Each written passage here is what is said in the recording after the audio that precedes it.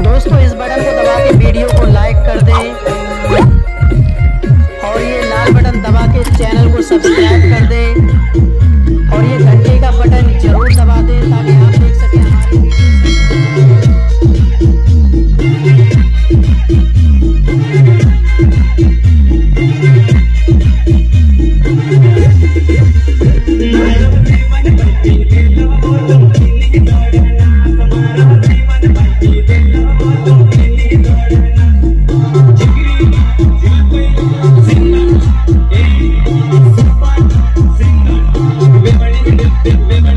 बिगड़ी लहना दमक